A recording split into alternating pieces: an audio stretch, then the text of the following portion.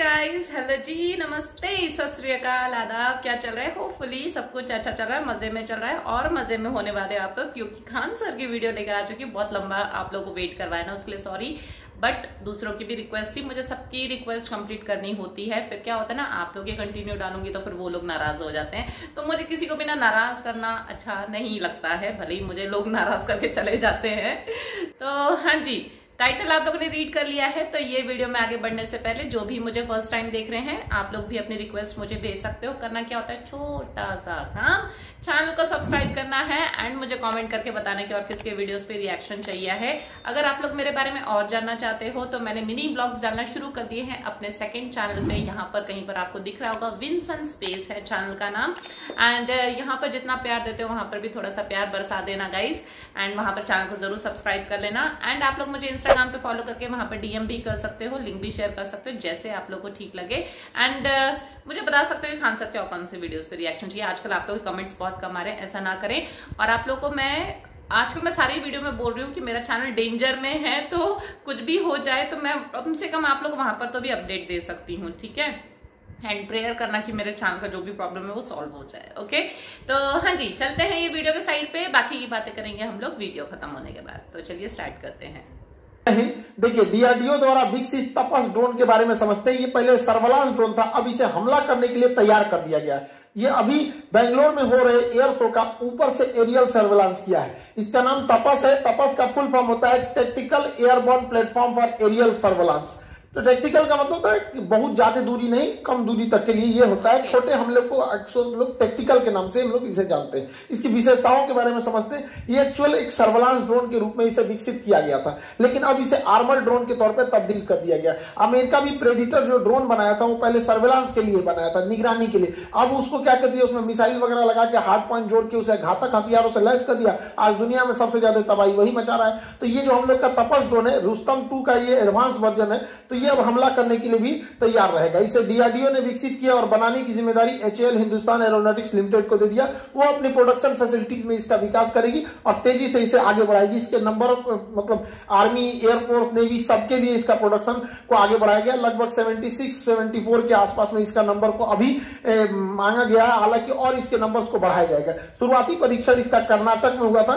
कर्नाटक के शुरुआत में इसका कोलार में परीक्षण हुआ। दूसरा परीक्षण जो पूरा बढ़िया से ट्रायल किया गया चित्रदुर्ग में। ये अक्सर क्वेश्चन पूछेगा चित्रदुर्ग कहा है? कर्नाटक में। हालाँकि पहले भी मिसाइलों के परीक्षण के लिए हमारे पास उड़ीसा का व्हीलर द्वीप, जिसका नाम चांदी ये, कलाम द्वीप हो गया, उसके ऊपर है चांदी चांदीपुर और यहाँ पोखरन ये चार जगह याद रखिएगा, मिसाइलों के परीक्षण के लिए यह जगह है। इसके बारे में अब समझते हैं। देखिए, इसकी लंबाई जो है, वो 31 फीट है। इसकी लंबाई को 31 फीट रखा गया है जबकि इसके बैनों की चौड़ाई को 67 फीट रखा गया है। यानी इसका बैना जो है विंग स्पैन ज़्यादा है। जितना ज़्यादा विंग स्पैन रहेगा वो हवा में उतना ज़्यादा स्टेबल रहेगा। वो कोई भी चीज़ स्टेबल स्टेबिलिटी उसकी बढ़ जाती है। इसमें टर्बोप्रॉप टाइप के इंजन लगे गए हैं जिसके फ़ैन बाहर होते हैं। टर्बोप्रॉप इंजन के फ़ैन क्या होगा बाहर रहेंगे। इसमें तीन ब्लेड दिए गए हैं घूमने के लिए। जबकि तुर्की का जो टीवी टू ड्रोन था, उसमें दो ही विंग्स थे, दो ही फ़ैन है घूमने के लिए। इसमें तीन फ़ैन है। जो तुर्की ने पूरी दुनिया में हल्ला कर दिया कि उसी का ड्रोन सबसे बढ़िया है। उसका जो ड्रोन है, उसमें दो ही विंग लगे हुए हैं। हम लोग का जो ड्रोन है, उसका जो इंजन है, वो ज़्यादा पावरफुल है। वो तीन टर्बो ब्लेड है, उसमें 130 किलोवाट ये जनरेट करेगा। इतना इसका पावर है। जबकि तुर्की का जो टीवी टू ड्रोन था, वो 75 किलोवाट ही जनरेट करता था। ये तुर्की का यही ड्रोन है जो अजरबैजान की लड़ाई में पूरी तरह से तख्ता पलट कर दिया था। या आर्मी ये यूक्रेन की सेना का पूरा मदद किया था, यही टीवी ड्रोन ड्रोन। इस ड्रोन की जो सर्विस सीलिंग है, जब ऊंचाई होती है, उसे सर्विस सीलिंग टेक्निकल भाषा में बोला जाता है, पैंतीस हज़ार फीट है। पैंतीस हज़ार फीट पे कमर्शियल जहाज़ उड़ते हैं। इसका मतलब ये जहाज़ की हाइट पे उड़ेगा छोटे मोटे चीज़ नीचे से पकड़ भी नहीं पाएँगे यहाँ पे इंडोरेंस जो है इसमें कितने देर तक उड़ सकता है? ये तो अठारह घंटे की इसकी इंडोरेंस क्षमता है। रेंज जो है एक हज़ार किलोमीटर तक जाकर हमला कर सकता है यहाँ पे। इसकी रफ्तार साढ़े तीन सौ किलोमीटर प्रति घंटा बताइए यहाँ पे। अभी इसकी रफ्तार इंजन और स्मूथ होंगे। इसके खाली वज़न, केवल मतलब जो जहाज़ का वज़न, इस ड्रोन जो है, इस ड्रोन का अकेले वज़न 1800 केजी है। लेकिन यह ले जा सकता है साढ़े तीन सौ का पेलोड। यहीं से इसकी एडवांसमेंट चालू होती है कि साढ़े तीन सौ केजी के हथियार को ये ले जा सकता है। जबकि तुर्की का जो टीवी टू ड्रोन था, वो महज डेढ़ सौ केजी के ही वज़न को ले जा सकता था। डेढ़ सौ केजी में वो दो से तीन मिसाइलें ही ले जा सकता था, जिस वजह से उसे बार बार वापस आना पड़ता था। दूसरा, ये एक राफेल में मतलब पचास राफेल खरीद, इसको एक राफेल में ये पचास ठो जाएगा। और तगड़ा इतना खतरनाक जिसका कोई अभी रेट डिस्क्लोज नहीं होता है ये डिफेंस के चीज़ों की, इसलिए हम लोग इसका अंदाज़ा लगा सकते हैं, लेकिन ये बहुत सस्ता होता है। इसका रेट अभी किसी को एक्चुअल नहीं पता होता है। तो साढ़े तीन सौ के का ये हथियार ले जा सकता है, टीवी टू ड्रोन से ज़्यादा ले जा सकता है। हालाँकि तुर्की भी अपने ड्रोन को एडवांस कर रहा है। इन ड्रोनों में हार्ड पॉइंट लगाए जाएँगे, चार हार्ड पॉइंट्स लगाए जाएँगे, दो इस विंग्स पे, दो इस विंग्स पे। हार्ड पॉइंट उसे कहते हैं जहाँ पर हम हथियारों को अटैच कर सकते हैं। तो इसमें चार हार्ड पॉइंट लगा दिए जाएँगे जहाँ से हम हथियारों को अटैच कर सके और फिर उससे हम लोग फायर कर सकते हैं। ये ड्रोन ज़्यादातर काम आते हैं टैंक्स वगैरह को उड़ाने के लिए यहाँ पे। और हम लोगों ने टैंक को उड़ाने के लिए पहले से ही ऑलरेडी मिसाइल डेवलप कर लिया Helina missile Helina missile tanks के लिए एकदम घातक साबित होती है। अब हेलिना मिसाइल अकेले का वज़न 50 के है। एक हेलिना मिसाइल का वज़न 50 केजी है। तो अगर हम सात ठो हेलिना मिसाइल लाद देते हैं तो साढ़े तीन सौ के टोटल वेट हो जाता है। और आपको पता है कि इसकी क्षमता ही जो है वो साढ़े तीन सौ के उठाने की है। यानी हम लोग एक साथ सात हेलिना मिसाइल छोड़ सकते हैं। यानी वो करोड़ों का टैंक भेजो हम यहाँ से ड्रोन भेजते रहेंगे। युद्ध नीतियाँ बदल चुकी हैं। यूक्रेन की लड़ाई और अर्मेनिया और अजरबैजान की लड़ाई ने यह साबित कर दिया कि अब जिनके पास ड्रोन टेक्नोलॉजी बेहतरीन है, वही आगे निकलेगा। अब देखिए, ईरान जैसा छोटा देश जो डिफेंस के मामले में आत्मनिर्भर नहीं था वह छोटा देश ईरान भी रूस को ड्रोन दे रहा है कि हमारे ड्रोन से आप यूक्रेन में मारिए।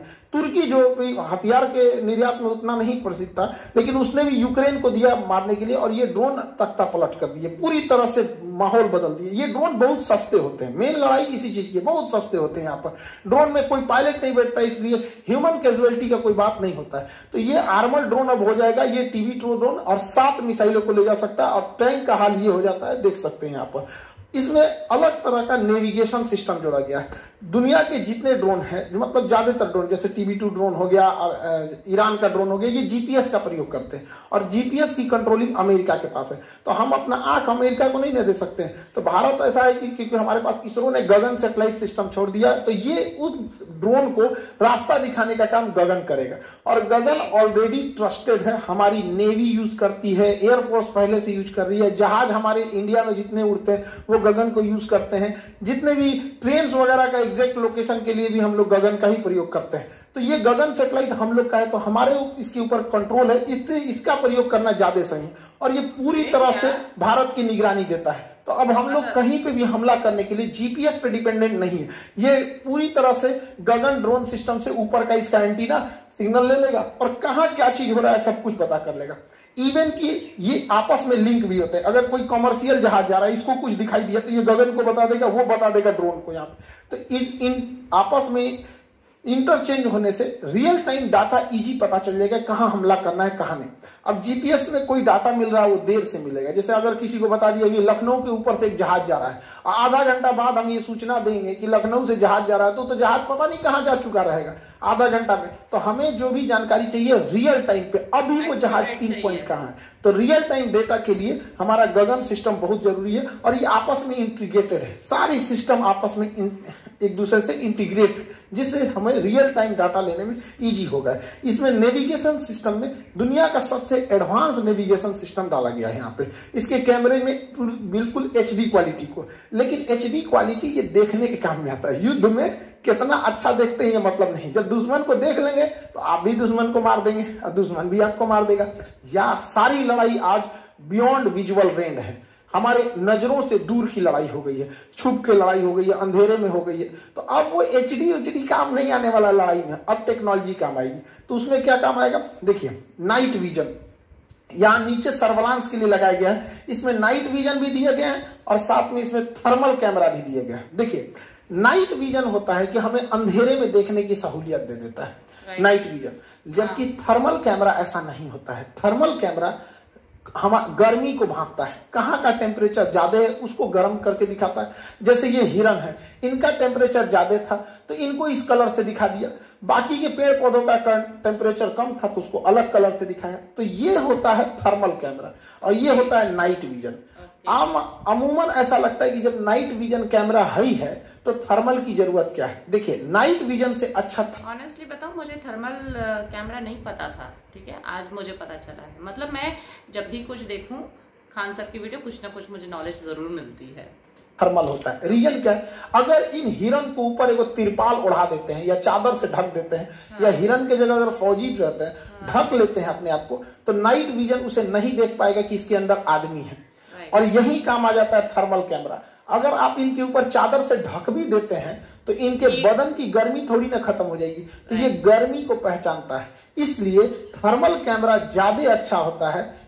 ये क्या नाम है डिफेंस के मामले में नाइट विजन से। लेकिन कब किसकी ज़रूरत पड़ रही है? तो नाइट विजन में भी देख लेगा दिख रहा है। थर्मल में भी देख रहा है एकदम एक्यूरेट पता चल जाएगा। तो ये दोनों सिस्टम इसमें लगा के दिया गया है। हमारे तपस ड्रोन में निगरानी इसके जो नेविगेशन सिस्टम है ये बहुत बेहतरीन है। इसके अलावे अब देखिए हमको जब आसमान में कोई चीज़ उड़ रही होती है तो हमें चाहिए थर्मल कैमरा क्या करता है कि छोटी सी छोटी चीज़ों को दिखाने लगता है कि हाँ मुँह यहाँ नाक के पास का टेम्परेचर ज़्यादा है हथेली का टेम्परेचर oh कम है माथा का ज़्यादा है तो कई कलर से दिखाने लगता है। इससे कंफ्यूजन होने लगता है। इसलिए उससे बेटर है infrared sensor I R sensor infrared I infrared infrared system infrared system में क्या होता है इसमें कंप्यूटर में सेव कर दिया जाता है कि ज़्यादा टेम्परेचर को दिखाना है बाकी को काला कर देना है। तो अगर इसमें सेट कर देंगे कि 400 डिग्री सेल्सियस को दिखाना है तो देखिए कोई भी जहाज़ चलेगा तो उसका इंजन 400 डिग्री सेल्सियस होता है। हम्म। या इसमें सेट कर दीजिए इसके सिस्टम में कि 200 डिग्री सेल्सियस से टेम्परेचर ज़्यादा रहेगा तो ही स्क्रीन पे दिखाना अदरवाइज़ में मत दिखाना।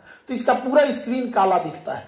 इस टाइप का काला दिखेगा। लेकिन जहाँ टेम्परेचर ज़्यादा आया 200 डिग्री सेल्सियस पे तो जहाँ जहाँ उसको ज़्यादा दिखेगा, वहाँ वहाँ का डिज़ाइन बना देगा। तो देखिए, जहाँ जहाँ टेम्परेचर इसको ज़्यादा दिखा, उसका डिज़ाइन बना दिया, पता चल गया, इस तरह जहाज़ है, बाकी पूरा ब्लैक रहेगा। समझ में नहीं? इसमें देखिए, यहाँ टेम्परेचर ज़्यादा, यहाँ ज़्यादा यहाँ ज़्यादा यहाँ ज़्यादा। तो उसी उसी हिसाब से बना देगा। तो इसका स्क्रीन पूरा ब्लैक रहता है। इंफ्रारेड वाले में यही खास है, पूरा स्क्रीन ब्लैक अब जो आ गया सीधे मारो। जो आ गया मार दो यहाँ पे। तो इस पे इससे भी अटैक करने में इजी हो जाएगा यहाँ पे। देखिए इसका टेम्परेचर ज़्यादा था तो पकड़ लिया तो इंफ्रारेड तो नेविगेशन की कितनी बेहतरीन व्यवस्था रखी गई। लेकिन ये सारा नेविगेशन फेल हो जाता है जानते हैं कब? जब कोई जहाज़ ग्राउंड पर हो और उस ग्राउंड के जहाज़ का इंजन ऑफ़ हो। तो पकड़ना काफ़ी मुश्किल होता है। तो अभी के समय में सबसे एडवांस टेक्नोलॉजी है वो है synthetic aperture radar synthetic aperture radar कैसे काम करता है? उस सिस्टम को भी इसमें दिया गया है सिंथेटिक अपर्चर रडार को. अब समझ में आता है आत्मनिर्भर का फ़ायदा क्या होता है? ये सारा सिस्टम इसरो ने दे दिया है.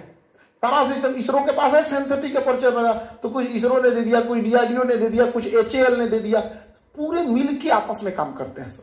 तो सिंथेटिक अपर्चर रडार क्या है? ये देखता ही नहीं, अंधेरा होता है सिंथेटिक अपर्चर रडार वो अंधा की तरह काम करता है। अंधा कैसे ऐसे छू छू के निशाना ऐसे छूता है अरे क्या चीज़ है? ओ हो कोई आदमी खड़ा है, ऐसे टच कर लेता है। वैसे ही वो वेव छोड़ता है, तरंगों को छोड़ता है। अब जैसे हमारे ऊपर कोई तरंग छोड़ेगा तो नाक से जो तरंग टकराएगी, वो पहले ही चली जाएगी। जो गाल से टकराएगी वो थोड़ा बाद में जाएगी क्योंकि नाक ऊपर है, गाल नीचे है तो उसी तरह से अलग अलग जगह से टकराएगी तो अलग अलग तरंगे उठेंगी। जैसे सिंपल सी बात बताते हैं। हम आटा सान लेते हैं, ठीक है? आटा सान के अपने मुँह पे इसे चिपका देते हैं इसे इसे जब इसको नोचेंगे तो मेरा थुथुर का चेहरा उस आटा में चिपक जाएगा तो पता चल जाएगा कि हाँ इसका सही साचा ले थुथुर क्या होता है? मुझे प्लीज़ बताना कमेंट करके। लिए यही काम करता है अपर्चर रडार ये उप, जिसके ऊपर से गुजरेगा तो उसके ऊपर से पूरी तरह से वेब छोड़ देगा। ऐसे पूरा वेब छोड़ देगा। और देखेगा कौन वेब कितनी ऊंचाई से टकरा के आ रहा है। जैसे इधर साइड साइड में घास था बीच में यहाँ रनवे था तो रनवे वाला अलग आ गया ये टैक्सी वे वाला अलग आ गया पेड़ पौधे का अलग आ गया तो पूरा स्कैन कर लेता। अब इसमें कोई छुपा रहे या नहीं? अब कोई छुपा भी रहेगा तो उसके जगह गोल बना देगा कि भैया तरंग यहाँ पहले ही आ गई है ज़मीन तक नहीं गई है। तो ये सिंथेटिक अपर्चर रडार से भी इसे लैस किया गया। यानी इसमें पूरी तरह से नेविगेशन जो भी एडवांस अभी के लेटेस्ट टेक्नोलॉजी पे हालाँकि इसमें हमला करने के लिए एक और लेटेस्ट टेक्नोलॉजी जोड़ा गया laser guided system laser guidance system क्या होता मतलब है देखिए। कोई भी कमी छोड़ ही नहीं रहे हैं। तो जमीनी लड़ाई में आप फौज को नकार नहीं सकते चाहे जितना भी टेक्नोलॉजी आए फौज वहाँ खड़ी रहती है। कई बार फौज को दिख जाता है कि वहाँ दुश्मन का तोप है वहाँ दुश्मन का टैंक है वहाँ दुश्मन का बस जा रहा है ट्रक जा रहा है। तो वो फ़ोन करेंगे अरे दुश्मन का ट्रक उधर गया है आओ आओ आओ आओ। अरे तो जहाज़ आएगी फिर खोजेगी किधर गया किधर गया? अरे हमको नहीं दिख रहा है। तो कहेगा दहीने मुड़ो बाएँ मुड़ो। अरे वो जहाज़ से कैसे देख पाएगा दहीने मुड़ो की बाएँ मुड़ो? जहाज़ से दिखेगा तो कोई चीज़ में उठपटांग दिखता है समझ में नहीं आएगा। तो यही काम आता है लेजर जैसे देखिए यहाँ एक आदमी लेजर मशीन लेके खड़ा रहेगा। इस साइड में लेजर मशीन लेके खड़ा हो जाएगा। ये लेजर मशीन से दुश्मन के टैंक के ऊपर वो लेजर लाइट चलाएगा।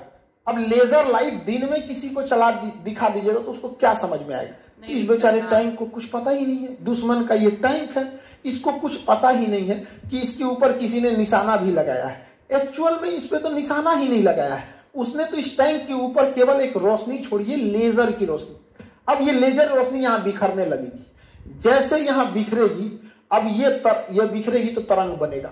और इसे रडार से पकड़ लिया जाएगा कि यहाँ पर कोई ना कोई हलचल हो रहा है।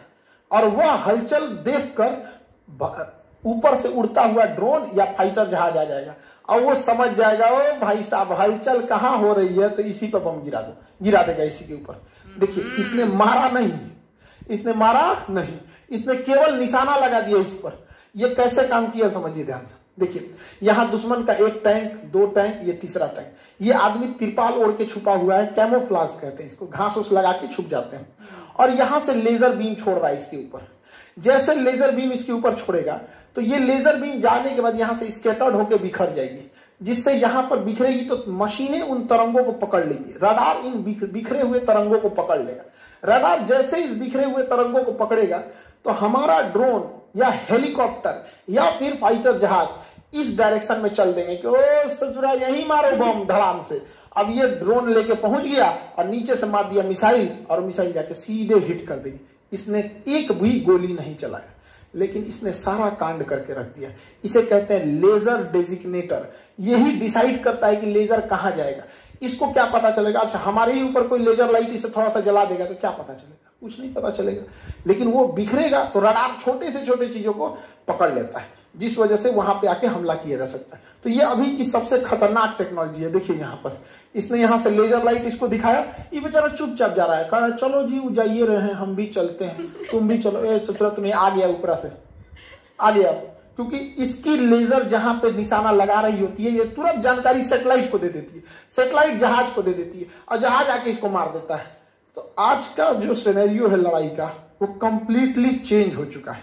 तो तपस ड्रोन अब सर्वलांस नहीं रह गया, बल्कि अब यह हमला करने के लिए तैयार हो गया है। डिफेंस के सेक्टर में जो भी चीज़ें नहीं होती, उसको याद रखते रहिएगा, क्योंकि अब साइंस एंड टेक्नोलॉजी के सेक्टर में क्वेश्चन पूछने का दायरा बढ़ते गया है। Okay okay. बहुत मतलब हमेशा वही बात बोलती हूँ। बहुत इन्फॉर्मेटिव था, बहुत इन्फॉर्मेटिव था। था भाई, था, क्या करे? और क्या टेक्नोलॉजी बनाई है? ज़बरदस्त। पता है, जब ये सारी चीज़ें सुनती हूँ और जब खान सर बोलते ना कि ऐसा होगा फ्यूचर में ऐसा होगा तो वो ना थोड़ा सा अंदर से दिल, डर सा जाता है। लेकिन हाँ पता नहीं है फ्यूचर का क्या होगा, क्या नहीं होगा, अपनी तैयारी रखनी चाहिए है। एंड बहुत बहुत मतलब कि एक भी कमी छोड़ी नहीं है ड्रोन में। सारी चीज़ें इन लोगों ने ऐड की है। क्या बात है। सीरियसली ठीक है? एंड यस काफ़ी टाइम बाद आई हूँ लेकर खान सर की वीडियो तो आप लोग जाइए, अभी अपनी रिक्वेस्ट भेजना शुरू कीजिए और कौन से वीडियोस चाहिए खान सर के या और किसी के, ठीक है? एंड ये वीडियो पसंद आया तो प्लीज़ इसे लाइक ज़रूर कर देना शेयर कर देना अपने फ्रेंड्स एंड फैमिली के साथ में, खान सर के फैंस के साथ में, खान सर के स्टूडेंट्स के साथ में। यहाँ तक देख लिया तो चैनल को ज़रूर सब्सक्राइब कर लेना एंड मेरे सेकंड चैनल का लिंक नीचे डिस्क्रिप्शन बॉक्स में वापस से याद दिला रही हूँ। तो फिर मैं मिलती हूँ आप लोगों से अगले वीडियो में, तब तक खुद का ख्याल रखें, खुश रहें and thank you tata bye tata bye